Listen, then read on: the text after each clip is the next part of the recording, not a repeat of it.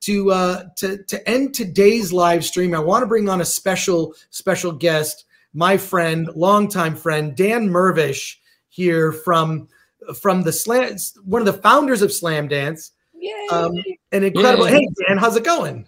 Hey, great, Chris. Nice to see you. I've been listening to the show all afternoon. You guys do an amazing job. Uh, Great. Oh my God, are you figuring all wearing a this stuff out. new? Are you wearing a new movie show T-shirt? Oh my God. What? Look at Look that. at that, and it's like That's covered crazy. What? Are, what are the odds that I'd be wearing this?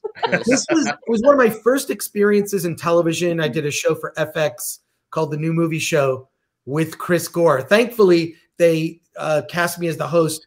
Um, someone also named Chris Gore, the same name as the show.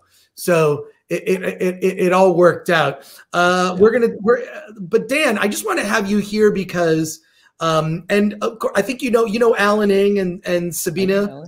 Yeah. Uh, I'm not sure if I know Oh. Sabina. Hey, Nice yeah, to meet hi, you. I know Alan. I'm a Hi. friend of Skizz's, by the way. You're what? I'm a friend of Skizz's. f- The used Oh, to, well, every who isn't Baltimore. though? yeah, yeah, yeah, He has a new film. Of course. He has a new Yeah. film. Uh, No. But I want to bring we Dan need on. I want to bring Dan on to just talk about like what's happening in the world now. We're now this is our second year of a virtual Sundance. Um, it's it's you know, are we going to go into a third year? I've tried to argue very passionately.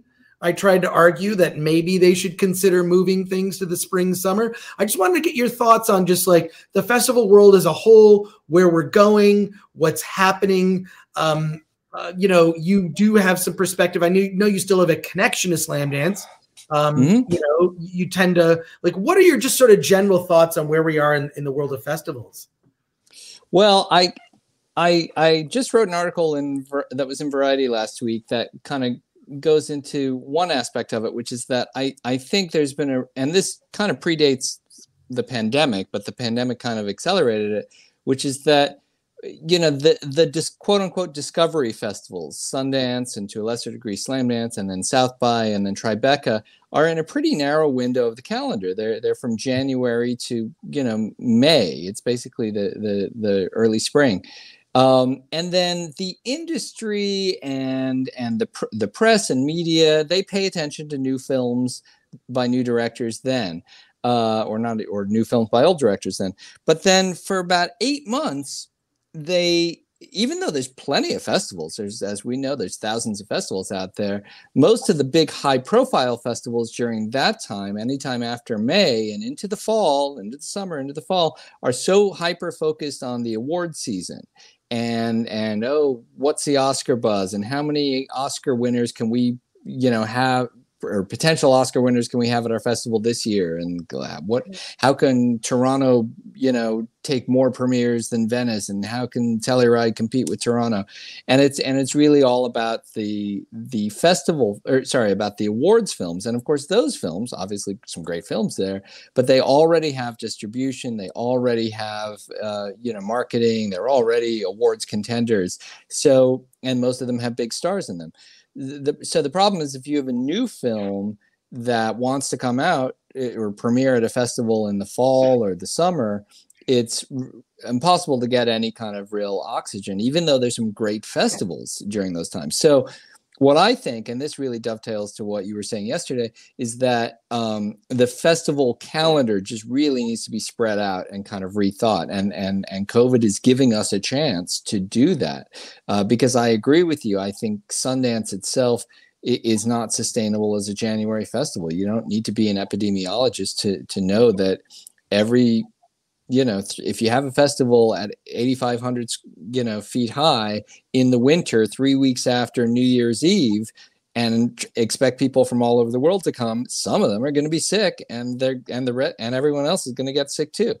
So um so i think first and foremost i think i agree yeah absolutely sundance should change their dates and and you know march november i don't know it doesn't matter to me when but they can go whenever they want because they're the biggest festival at least in north america. So more power to them you know go where you want. And and park city would appreciate that. They they don't necessarily like having sundance in in january because they mm-hmm. take up all the all the the ski condos and you know that's bad for business. So sundance would or, or park city would much prefer if it was in you know spring or summer Well, I, I'm I'm just so pleased Or that fall. someone of, of your stature actually agrees with me on this because I mean, look, you're an expert in your own right. You've been involved in festivals and uh, producing, directing, writing films, um, and being a part of the indie film scene since the '90s. Books. Also, and an author, and an Yeah. author. There you go.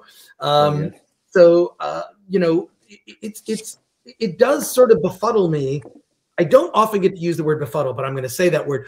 Um, that why why is there not a, a conversation about this? Because flu season will never go away. Flu season is now COVID season. It's not going away.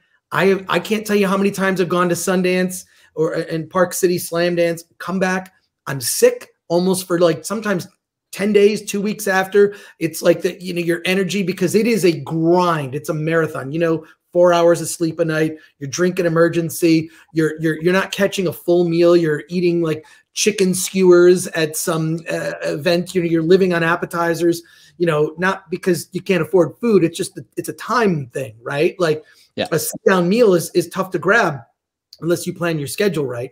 I like to keep a fairly open schedule, but it's it's I wonder if there's I mean it would throw everything off, right? Because Sundance does set the tone. A lot of a lot of festival directors come to, to Park City looking for movies to program, and Slam Dance is in the mix. Slam Dance has my heart. You know that, Dan. Yeah.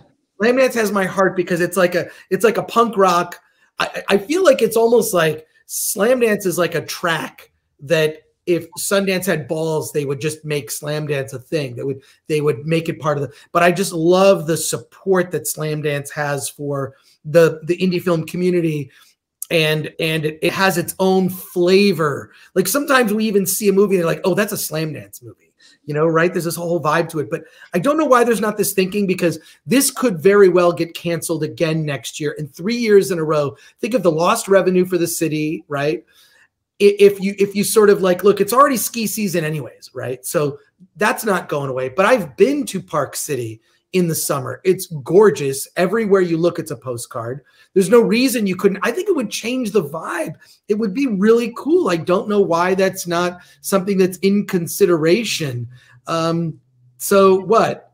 I mean, I wouldn't be surprised if they are. I wouldn't be surprised if they are starting to think about it. I mean, look, they've got their hands full this week, obviously, so they're not. You know, they're just focusing on on their immediate issues. But I, I think you know, in in three weeks when when the festivals are over, if they're not talking about it, I I would be sh- shocked. Um, I, there was there was an interesting interview with Tabitha Jackson, who's one of the main people at, at Sundance, uh, like three days ago, where she she said she was talking about like, oh, what what could they have done? Because obviously they've gotten a lot of grief for m- making their decision to cancel the live so late in the game, uh, and that's that's a whole other issue. And and she said that they thought about postponing it to later in the spring, but that it would mess up everyone else's schedules, uh, other festivals. And, and I can see why that would be a consideration for this year immediately. Like uh, it- it's just logistically hard to to Right. postpone anything. But I think moving forward, Sundance has to has to own the fact that they're the biggest, you know, festival in in in the country and in in North America, and they should they can go wherever the hell they want, and they should they should just make their own decision. And then every and if South by has to move or Tribeca has to move, great, let them Fine. move. It's look, the care. world exactly. The world has already been disrupted, right? The world has already been disrupted. Why not disrupt this? And Absolutely. They could, even, they could even do a trial festival, do a four day summer Sundance with maybe make it a best of just as a trial. Do it this summer. Um, you know, make it four to six days or something. Look, I love when they uh, when they will close off parts of Main Street, like sort of at the bottom of Main Street. You know, they'll close it off for like a block and have like a block party. There are ways to do it. They could test some outdoor screenings. Do a trial run this this summer uh, just to just like a like a four day like a long weekend right just to test test the logistics test doing it in the summer. Can they attract people? Can they get people driving in from salt lake? Maybe someone like myself might drive in from from the west coast who knows? But but i, I think that i think that it's got to be thought about it because flu season's never going away. As someone who finally figured out maybe i should get a flu shot every year. And i finally began to get a flu shot. Yeah. um, I, think it was on 2004 i got really really horrible pneumonia. Yeah. um, but yeah so so yeah, it's something that really needs to be considered. I just think that like, you know, positives from this are the virtual festival. Clearly, people have been responsive to that.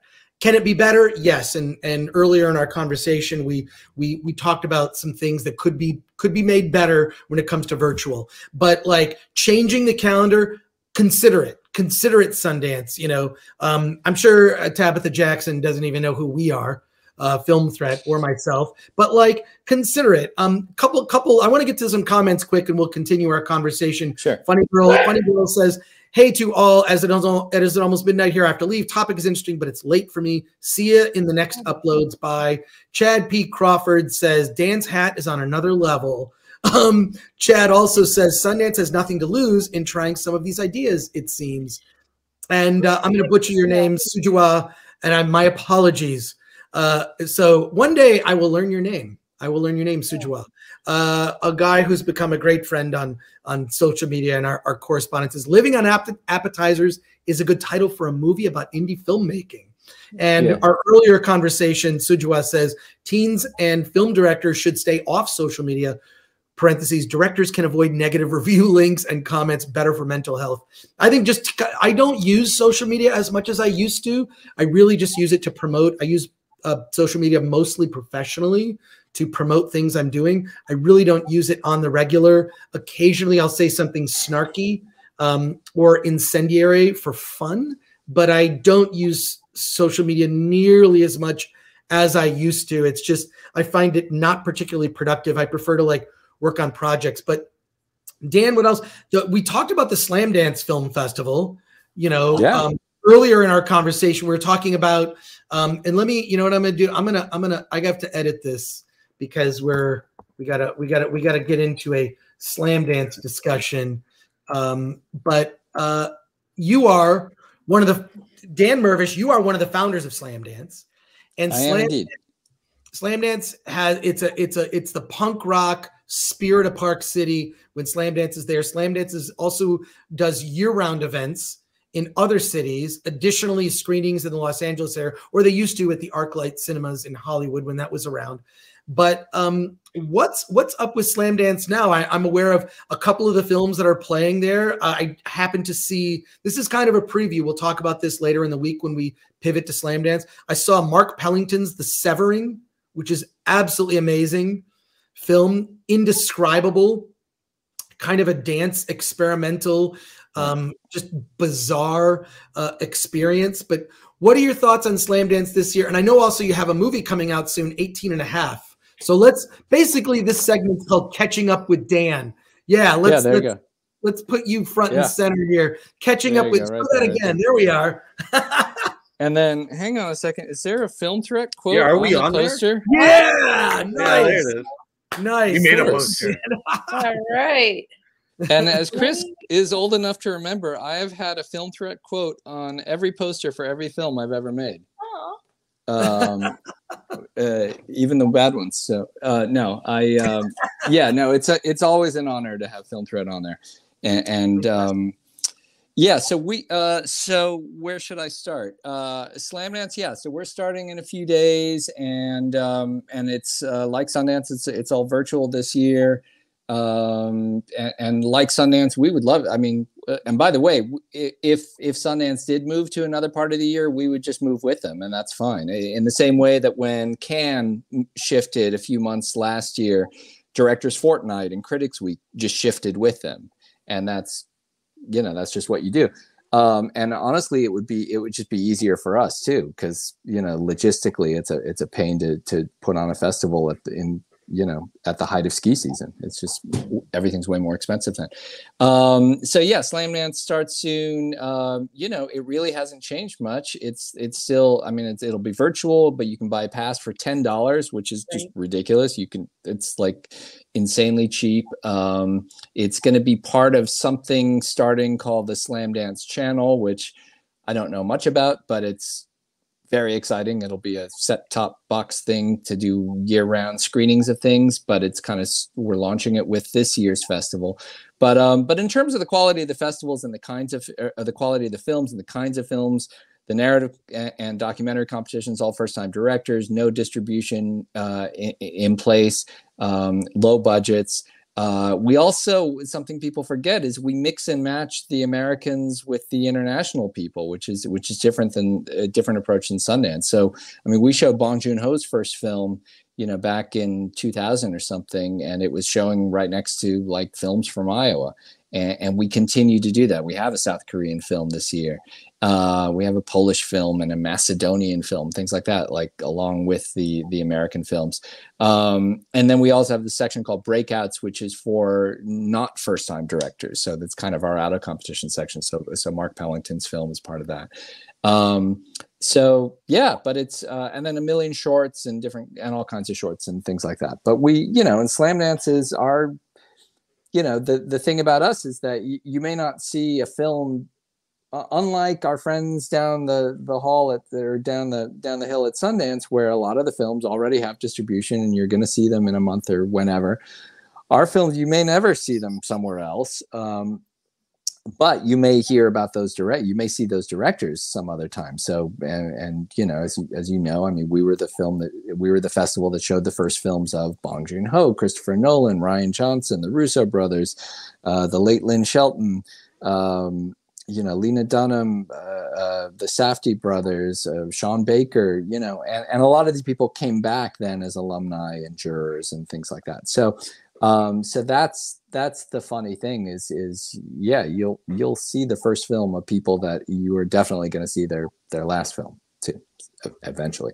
Um, but yeah, but as far as the kinds of films we picked, uh, that's the same this year. We we just made the decision a few weeks earlier than Sundance that we were going to go virtual. We kind of we I don't know for whatever reason we saw the writing on the wall a little sooner than they did about Omicron, but um, uh, but look, as for me, I've been playing live festivals. I, uh, you know, we finished 18 and a half in September, uh, premiered it at the Woodstock Film Festival. I, have dubbed the term uh, trough fests, which are festivals that take place in the troughs between Omicron spikes.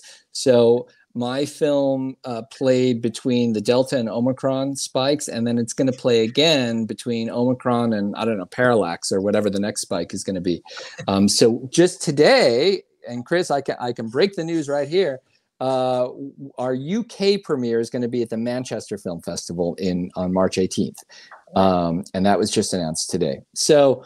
Um, so we're and that'll be a live festival. They're planning it live, and that's the interesting thing is I is as a filmmaker, I can kind of gauge where other festivals are year round in a, in a different way than you know if you're just running a festival you're kind of you know just insulated uh, from yourself. And i can see that festivals starting in march and april are going to be live again. Mm-hmm. you know it's they're already planning um, you know those festivals depending on wherever they are in the world um, they're going to be live again then and but yeah but january you know, you don't have to be an epidemiologist to know which way the wind blows. That's that's that's always going to be a spike of something. So yes, I'll say I'm not a doctor, but flu season is pretty much the same every year, and it's right yeah. around right around. Yeah, and I'm not a doctor, but as you know, I sleep with one frequently, and um, you're married to one. Oh, that's it. That's I knew it was something like that, and I can tell you that flu season is remarkably predictable. It's, and it's, so, um, it's it's it's so weird because I've even been to, to Sundance in, in Park City where one of our writers was down for the count and actually I had to go see a doctor. Like that's oh, how yeah. like it's just that's when it happens. You have people flying in. I just think that the way to solve this problem forever is to move the festival. I think a trial run in 2022 this summer. Um, if anyone from Sundance is listening, like just try it. Just do a, yeah. you know, any anyone. So, I mean, I mean, why Slam Dance can do it? You don't need permission from Sundance to do what you do. I know that Slam Dance kind of is like on the heels of um Sundance, but I don't think yeah. you need permission. I think if you did it, no. I think the city, I think you could actually own the city if you did it without the permission of Sundance, right? Like I feel like Slam Dance could do that. So some something I would just love because that that I I I was fortunate to go to um, Park City once in the summer, and it's beautiful where the street was the bottom of the street was closed off and it's sort of a it's almost like a beer fest and it's it, it's a blast i mean it's a whole other experience you've been there during the summer it's a whole other experience so um, i'd like to see them try it uh, I, I, hope that uh, the powers that be are listening, and I intend to take full credit if it does happen. If it does Absolutely. happen, I will, No, me I will too. I'll take a full credit. I'll say I called it, and Dan called it second. And that's what I'm going to now, what is the what is the status of 18 and a half? I know you're successfully playing festivals now. What's Yes. the status? So yeah, so we are uh, we're in the process of negotiating some distribution deals. So um, that is going to happen. Um, I can tell you it will most likely come out commercially um, and probably theatrically uh, at the end of June, um, which just between you and me and and the four of us here is the 50th anniversary of the Watergate um, break-in. So that seems to be the time to put out a Watergate related film, which ours is. Um, so we're kind of gearing up for that. And uh, all kinds of fun things are going to happen. I've been working on a soundtrack album and, and things like that coming out. Um, so, and yeah, we have a bunch of festivals coming up in, in the springtime. And, you know, I mean, partially by design and partially by luck, we made a point of playing at live festivals at Woodstock, at Tallgrass, at Anchorage, and Sao Paulo in Brazil, and Gijón in Spain, while everyone else was waiting around for Sundance, and the industry was waiting around, and the and the and the press. Not you guys, but other press were just, oh no, we're not going to cover Woodstock this year. Why? We're going to wait for Sundance. And if you didn't get into Sundance, you must suck. And it's like, guys, there's a pandemic going on. We mm-hmm. are going to go, as if another filmmaker friend of mine said, go where the love is. If there's an audience, go there and be nimble and, you know, go where you can go. And, and festivals are making decisions at the last minute. And as filmmakers, you just have to roll with that. And the problem with the kinds of films that are at Sundance is the ones that already have the big distribution and the big distributors on board or the big reps is they told those filmmakers no don't go to any fall festivals you know wait six months wait eight months for sundance. And then all of a sudden those filmmakers are crestfallen. They don't they didn't get a live premiere. And the ones that already have distribution lined up for next month they're never going to have a live screening. Now oddly enough the, the filmmakers at sundance and slamdance that don't have distribution in a weird way they're they're going to be okay. They will have live screenings because what what will be interesting to me is that is which of the spring festivals, the spring regional festivals, are going to really capitalize and say, "Hey, why don't we just show a whole bunch of Sundance and Slamdance films, and and that'll be their live premiere."